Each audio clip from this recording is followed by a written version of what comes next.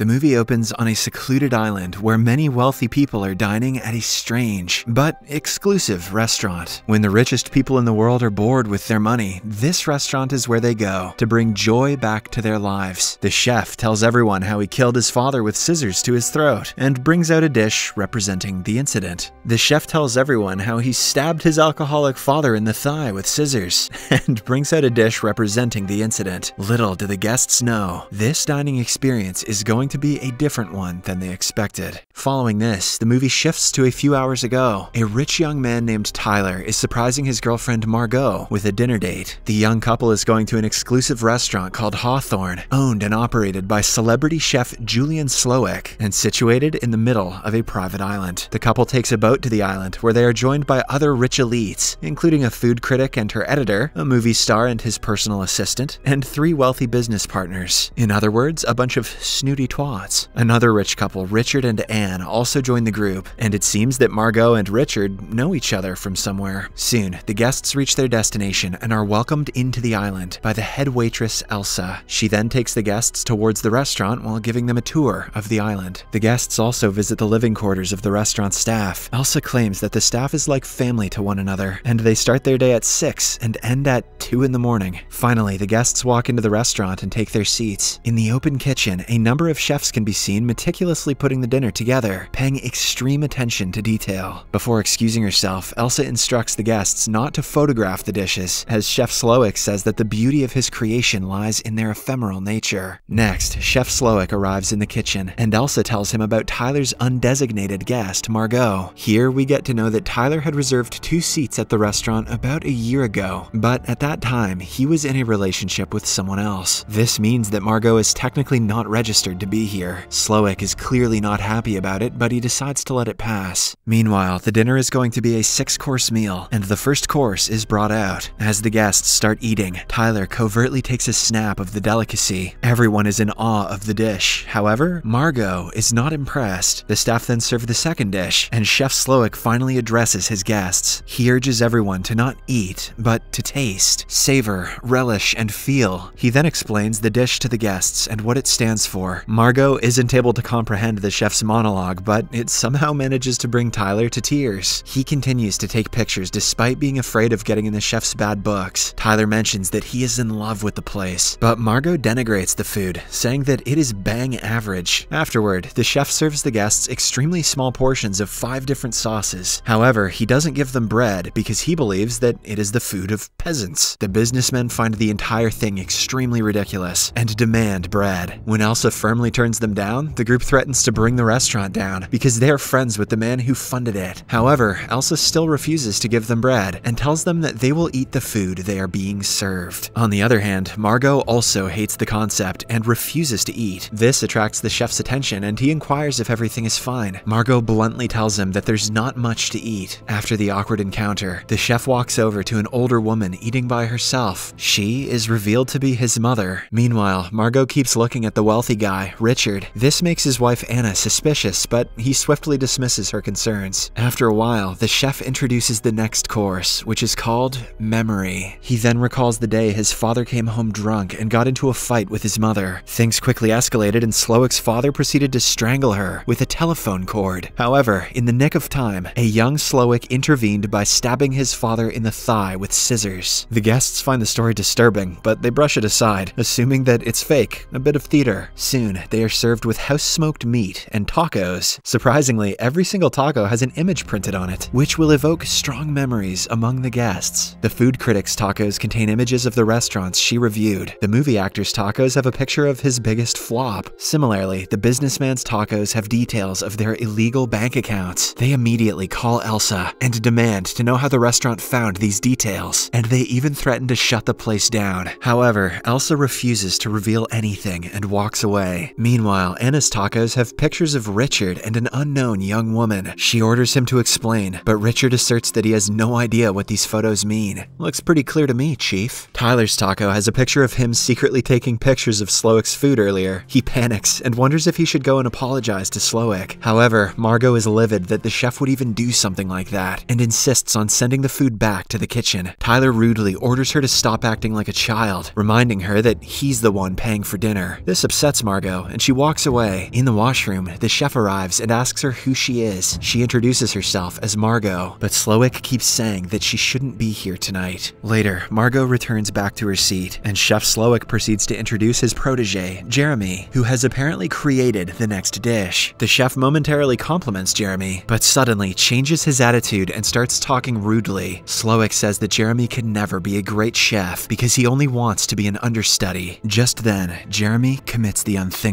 Everyone is shocked and horrified, but Slowik tells them that it is a part of the show. A while later, they return to their tables, but Richard insists on leaving. Elsa repeatedly requests that he return to his seat, but he refuses to listen. As a result, the restaurant staff grab him and chop off his ring finger, much to everyone's horror. The guests are then warned that they will receive a much worse punishment should they even think about running away and ruining the chef's meticulously planned dinner. This is when everyone starts to panic, but an Tyler continues to relish his meal. Kids, this is how you identify a psychopath. Shortly after, Margot is called to the kitchen by Slowik, and he again asks her who she is. He tells her to come clean because he has planned this dinner painstakingly, and her unplanned presence is spoiling everything. He also tells her that all of them are going to die tonight. Slowik gives Margot 15 minutes to choose between the option of either dying with those who give or dying with those who take. Shocked and scared, she returns to her table in tears. Before the next course, Slowik allows his captive guests to ask him questions, and a man inquires as to why he is doing all of this. Slowik explains that he has grown tired of running his restaurant for a number of reasons. He has lost his passion for the craft, and every guest here tonight is responsible for this, one way or another. The food critic was invited for the dinner because she has shut down many businesses with her bad reviews, while her editor is guilty of enabling her behavior. Meanwhile, Richard and Anne are regular customers of the restaurant, but they never even appreciate the food. Slowik bets that the couple can't name one dish he has served them, and he's not wrong. He then tells everyone about the angel investor who funded this restaurant. It's revealed that outside, Slowik has suspended the man above water. He says that the man has an unhealthy obsession with profits, and that he has harshly denigrated the restaurant's menu countless times. And as everyone watches in horror, Slowik lowers the man into the water and drowns him. After 15 minutes, he calls Margot to his office and asks her to make a decision. The latter claims that she doesn't belong here, so he should let her go. However, Slowik groups her with the staff, saying that he can easily tell that she is not from a wealthy background. He then asks her about her relationship with Richard, because she has been eyeing him all night. Finally, Margot comes clean and reveals that she is actually an escort, and her real name is Erin. Richard is her former client, who has paid her handsomely in the past. Hearing this, Slowik empathizes with her and mentions that he has had his fair share of bad customers. He says that he used to love cooking, but now he doesn't have that vigor in him anymore. Before bringing out the next dish, Chef Slowik asks Tyler to reveal why he is there. Surprisingly, the latter says that he has been wanting to eat at this restaurant for months, and when he finally got the opportunity, he lunged at it, even when he was told in advance that everyone was going to die. Tyler also reveals that he hired Erin to accompany him because he had booked a table for two, but his girlfriend dumped him, and without company, the reservation would have been cancelled. This infuriates Erin, and she attacks him, but the staff quickly intervenes and calms her down. A while later, Slowik calls Erin to his office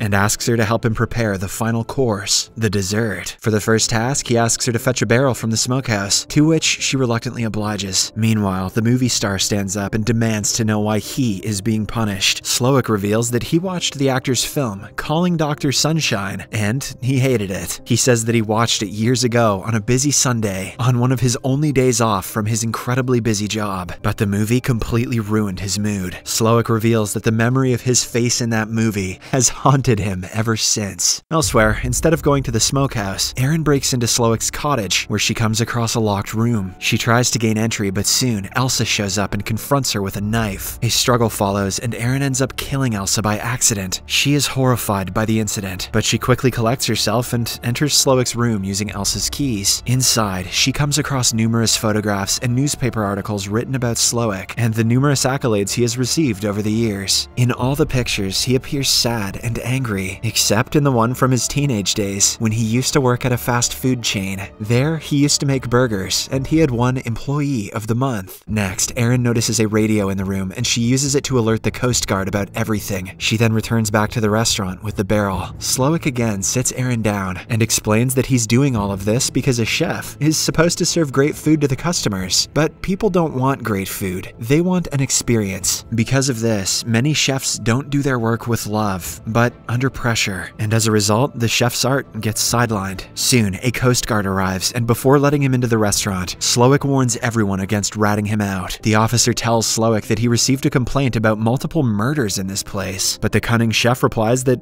everything is fine here. Cunning indeed. Just then, the officer recognizes the movie star and asks for his autograph. The latter happily obliges, but instead of a signature, he writes, Help me. As he is leaving, the Coast Guard notices this, so he pulls out his gun and threatens to shoot the chef. Finally, all the guests breathe a sigh of relief, and they proceed to tell everything to the officer. Unfortunately, it's revealed that the officer is actually holding a fake gun. Slowik then reveals that the officer is one of his chefs, posing as the Coast Guard. He also tells Erin that he's aware that she tried to call for help. Slowik then proceeds to serve the final course, but Erin quickly comes up with a plan. She announces that she didn't like his food and wants to send it back. This upsets Slowik, and he demands to know why she didn't like his food. Erin responds that he has taken the joy out of eating, and that everything he has served was an intellectual exercise rather than something someone would want to sit and enjoy. She says the food tastes like it wasn't made with love. At last, Erin mentions that not only has he failed, but he has also bored her, and she's still hungry. This bruises the deranged chef's ego, and he asks her what she wants to eat. Erin uses the opportunity to demand a traditional American cheeseburger with some fries. Taken aback, Slowik quickly moves to the kitchen and starts cooking. While he is at it, he is reminded of his younger days when he was much happier and jolly. After a while, the burger is ready and he serves it to Erin. Surprisingly, she absolutely loves it and finally praises his food. This makes him the happiest he has been in decades. Erin then tells him that her eyes were bigger than her stomach and he has served her more food than she can eat, and asks him if she can get the rest of the burger to go. Slowik briefly thinks to himself and agrees to parcel the rest of her food. Erin is internally relieved, and she pays for the burger with a small tip before leaving. On her way out, she briefly pauses to look at the other guests, wondering if she can leave them to die, but Anna encourages her to go and save herself. After Erin leaves, Slowik thanks everyone for dining at Hawthorne and reveals that each one of them represents the destruction of his art and his life. Now, they get to be a part of it, part of what he considers to be his masterpiece. Slowik and his team of chefs then prepare the final dish, making each guest, all of whom have finally accepted their fate, a part of it. He dresses them all as s'mores, the most offensive food ever created, and at last he lights everyone, including himself, on fire. Meanwhile, Erin gets away from the island on a boat as Hawthorne burns down in flames.